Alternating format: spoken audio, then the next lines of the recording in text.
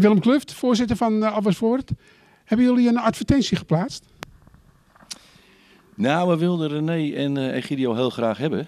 Dus uh, ik denk, ik ga ervan uit dat je dat bedoelt. Ja. ja. Ja, heel graag hebben. Dus we hebben ze benaderd inderdaad. En, uh, dus, dus jullie hebben geen advertentie geplaatst? Nee, dat was ook weinig geen tijd voor. Want je weet ook wanneer Maarten een afbericht had gegeven natuurlijk. Ja. En, en, dat is... Je weet het, dus zo we heel snel door. Egidio Oude Groen, ja, ik zie je naam, twee namen. Ben je van ADO? Nee, nee, nee, volgens mij niet. Dus ik heb dat in ieder geval nog nooit meegekregen thuis. Waar kom je oorspronkelijk vandaan? ik ben geboren in Opmeer. Dus, uh, of eigenlijk in Horen geboren natuurlijk, zoals het gaat vroeger. En op meer daarop gegroeid en getogen. Dus uh, 42 jaar nu. En ik woon nu al 15 jaar in Alkmaar. Op Meer, VVS 46 of ben je bij Horsvee geweest? Nee, ik ben Horsveeër. Dus ja, rood hart van binnen. Hè. Dat, en vroeger daar dus altijd gevoetbald. Dus vanaf mijn zesde denk ik, totdat ik ja, op een gegeven moment stopte en daar trainer ben geworden. Ja. Hoe, hoe, hoe, kwam die ambitie om trainer te worden? Um, nou, eigenlijk al in de jeugd. Dus dat wij een jaartje of 15 waren, toen kregen we Kees Koeman, die nu bij Victoria Oost zit als, uh, als trainer. En Kees was altijd wel van het doorvragen aan spelers ook. Van wat vonden wij belangrijk, hoe wilden we dat zien. Dus ook al veel meedenken. Um, en later is dat eigenlijk nog meer geworden. Waarbij ook Frits Kuipers wel, uh, die nu bij Graspers zit, um, ja, veel invloed heeft gehad. En waarbij we ook wel ja, veel trainers hebben gehad, waarbij je eigenlijk ook wel een ja, een helpende hand mocht toesteken, laat ik het zo zeggen. En toen dacht ik van ja, als je iedere keer denkt dat je het zelf beter kan, dan moet je het maar op een gegeven moment gaan doen. Dus en toen ben ik trainer geworden. Zo doen ze het ook wel eens met voetballers die uh, denken van nou, uh, als ik stop dan ga ik scheidsrechter worden, want ik kan het beter. Ja, ik en scheidsrechter was vroeger als voetballer niet echt een gelukkige combinatie, moet ik eerlijk zeggen. Uh, als trainer gaat het gelukkig beter. Ben jij nu de hoofdtrainer? ja, in principe ben ik eindverantwoordelijke. Ehm, alleen, ja, ik heb nou, is het, al een paar keer eerder met René samengewerkt. En ook wel 10, 15 jaar met René gevoetbald. René Ai? Ja, René Ai inderdaad. En je zal in praktijk gaan zien dat hoofdtrainer, uh, assistent wat meer door elkaar heen gaat lopen. Dus maar de moeilijke keuzes zullen eerder door mij gemaakt worden, ja. Welk diploma heb je? UWVB, ja. Tot uh, derde klas mag je trainen of mag je ook uh, tweede klas trainen? Ja, ze zijn in principe derde klas, maar ze zijn nu wel aan het kijken of je ook tweede klas mag gaan trainen inderdaad. Omdat van onderaf natuurlijk steeds meer klasses verdwijnen.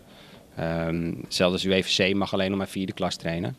Dus ze zijn nu ook aan het kijken van, joh, kan dat ook niet omhoog? René uh, Ai, Ai. Ja. uit Van Huizen? Nee, niet uit Van Huizen. Benningbroek. Kom mijn vader vandaan en ik Cyber Kaspel. Dat is ook een Ai in uh, Van Huizen. Maar ja, waarschijnlijk toch een uh, West-Friese naam?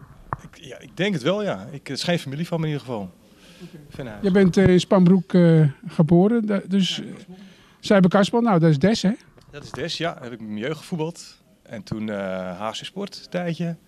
Toen ben ik naar, uh, op meer op school gegaan, naar de en mijn vrouw MAVO. En zodoende ben ik ook uh, bij Horsvee beland. En sindsdien ja, heb ik helemaal een hele tijd Egidio gevoetbald. En ja, vandaar bij Horsvee gespeeld, ja.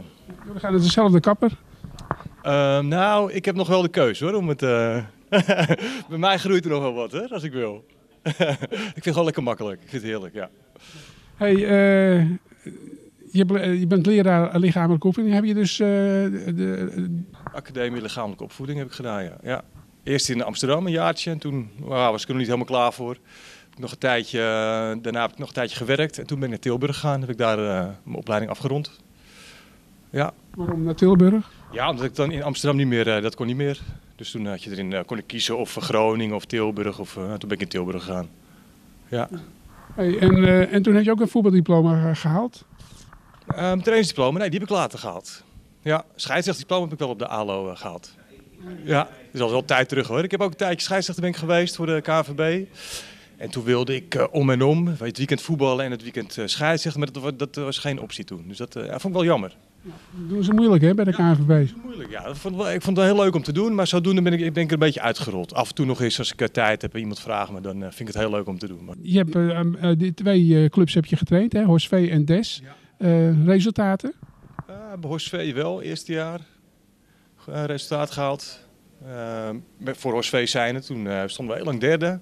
Uiteindelijk vijfde geëindigd. Het tweede jaar daar heel veel blessures met een hele kleine groep. Dus toen nou, was het echt een beetje kommer en kwel werd het op een gegeven moment. dat ik zelf nog mee moest doen en allemaal veteraan. En Guido moest ik nog oproepen. En dat soort, ja, dat was, dat was gewoon niet meer Nee. In de kelder van, de, van het voetballen. Ja, ja, dat was pittig, ja. Maar hij heeft goed een heleboel geleerd. Dingen die je die, je als trainer zijn. eh, Ook die, dingen die je zeker niet wil, bijvoorbeeld.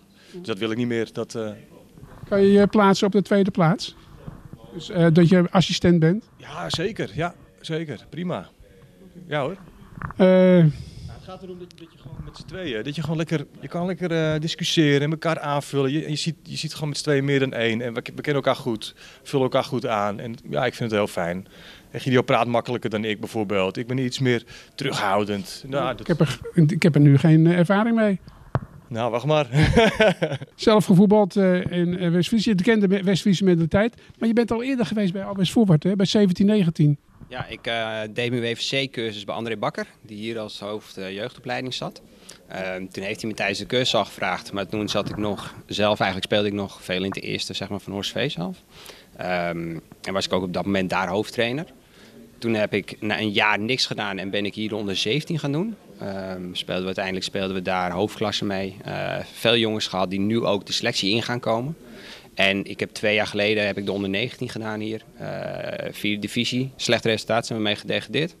Eh, wel heel veel spelers kunnen doorzetten, vervroegd eigenlijk. Dus die jongens van onder 16, onder 17 speelden mij veel in de onder 19. Eh, Er zijn ook een aantal die hebben wel een mooie stap gemaakt naar andere clubs hogerop. En ja, toen ben ik daarna weggegaan en ben ik naar Oosthuis gegaan. Dat ik gewoon wel weer senioren elftal wilde trainen. Eh, ik zie mezelf ook wel wat meer als een seniorentrainer dan een jeugdtrainer, moet ik eerlijk zeggen. In het eerste van uh, Alwest Voorwaard zijn er spelers die je nog kent uit de jeugd? Ja, ik moet zeggen dat ik van de jongens die nu in het eerste hebben gespeeld, ken ik vrij veel spelers. Uh, niet zozeer omdat ik zelf heb getraind, maar als je natuurlijk onder 19 traint, ben je ook wel betrokken bij, uh, bij het eerste en bij het tweede. Veel in overleg ook met Jotti in die periode, Jotti Papalomus. Um, veel in overleg geweest rondom spelers, omdat er ook wel spelers van mij in het eerste kwamen te spelen. Um, dus ik ken wel heel veel spelers. Niet allemaal, maar wel, wel heel veel jongens. Ja. Wil uh, aanvallend voetbal uh, doen. wat voor systeem? Ja, ik ben eigenlijk eerlijk gezegd niet zo heel erg van de systemen. Um, op het moment dat je zegt ik speel 4-2-3-1 en één back gaat hoger staan, speel je dan in één keer met drie verdedigers of speel je dan met vijf middenvelders. Dus ik ben wel meer van de uitgangspunten. Um, ik ben graag aan de bal. Het liefst op de helft van de tegenpartij. En ik ben ook wel graag zeg maar, creatief rondom de 16. En als we de bal niet hebben, wil ik hem het liefst zo snel mogelijk terug hebben.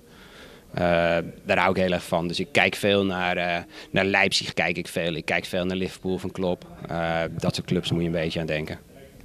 Hey, Tommy de Weert, ja, dat is de doelpuntenmaker van die, die ken je ook? Ja, uiteraard. Ja, Tommy was, sterker nog, Tommy gaf ook training op het moment dat ik training gaf hier. Um, en Tommy ken ik uiteraard. En zo ken ik wel een aantal van die jongens die hier al lang in het eerste spelen. Uh, Tommy is een goede spits, heel veel potentie, absoluut. En hoeveel uh, spelers blijven er? Nou, we zijn op dit moment bezig om de selectie te inventariseren. Uh, er zullen ook wat jongens weggaan. Um, en er zullen wellicht wat jongens bijkomen, daar zijn we ook over in gesprek. Onder andere Joost Ruttenberg komt over van Hollandia, dus daar zijn we heel blij mee. Die komt terug op het oude nest als het ware. En we zetten vanuit die jeugd wel een aantal spelers door. Met potentie, die jongens die ik ook wel goed ken. En we gaan kijken hoe we dan ja, in augustus ervoor staan. Wat zijn de, de verwachtingen? Derde klas. Uh, nou, de laatste wedstrijd die ze speelden, speelden ze geloof ik tegen KGB. En die werd uh, met 5-3 gewonnen. Dat was de uitwedstrijd. Maarten Frankfurt, die was dus trainer hier. Ken je Maarten ook? Ja, Maarten ken ik heel goed. Maarten komt ook het op meer. En ja, ik ben eigenlijk opgegroeid met Maarten. Beide vaders zaten al bij, bij de brandweer. En, en ze, Jochem, zijn oudere broer, hebben wij ook heel lang mee gevoetbald. En met Maarten hebben we in de jeugd ook wel in de zaal veel gespeeld. Goeie trainer. Heb je ook in de zaal gespeeld? Ja, maar wij speelden dan vaak, vaak op zaterdagavond in de zaal. En dan deed Maarten ook wel vaak mee. Ik weet niet of Veerhuis dat mag worden, maar uh, dat is al heel lang geleden. Oké, okay. ja, je hoofd van Cubo is nu uh, de club. Hè? En uh, Horace Veerhuis was het in het verleden. Ja. Ik ben er bij Oosthuizen geweest andere mentaliteit, hè? Oosterhuis een beetje richting Volendam?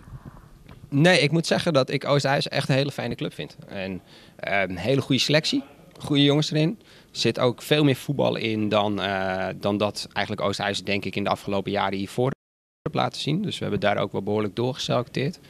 Um, en met doorselecteren bedoel ik eigenlijk verversen en verjongen. Er komt ook een hele goede onder 19 lichting aan.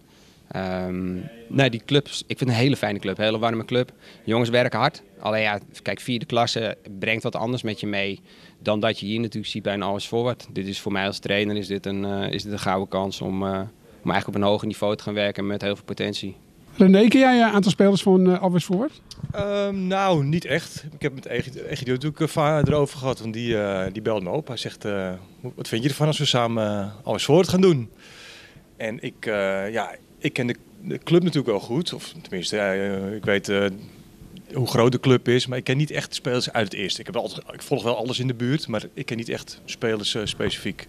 Joost Ruttenberg ken ik dan, die, die komt, die heb ik les gegeven. Dus die ken ik dan op, op dat vlak, maar niet niet op het veld voetbal. Het is namelijk zo dat uh, Voorwaard vrij aanvallend voetbalt. hebben ze afgelopen keren gedaan. Daarom zijn ze ook redelijk gepromoveerd. Met onder andere onder Jotti uh, Papa Melodolias. Jotti was hier toch wel een beetje een... hij verdiende eigenlijk hier bijna een standbeeld. Want hij is weggegaan. Toen promoveerden ze. En hij is niet gebleven. En toen is hij naar VVW gegaan. Zien jullie uit naar die wedstrijden dadelijk tegen VVW?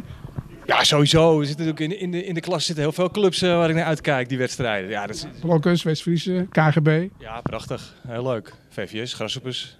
Ja, heel leuk. Hey, Grasshoppers uh, ken je ook? Grasshoppers, ja, de club ken ik uh, goed. Ja, ja, die ken ik ook. Ja. Aan de IGO heb ik gevraagd uh, hoe uh, het systeem wat hij wil gaan spelen. Uh, jij hebt ook niet van een voorkeur voor een bepaald systeem. Nee, wat Egidio net ook zegt, dat, dat, sluit ik me helemaal bij aan. Want dat je, ja, om nou vast te pinnen op een bepaald systeem, dat... dat... Zit je in de Tweede Kamer? Nee, nee hoor. Nee, hoor. nee maar je, je moet gewoon per wedstrijd bekijken. En de opties die dan ontstaan, daar moet je wat mee doen, denk ik.